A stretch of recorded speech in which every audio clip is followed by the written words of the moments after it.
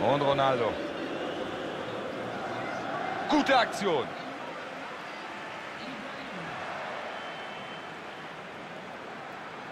Und jetzt Juve. Schussversuch.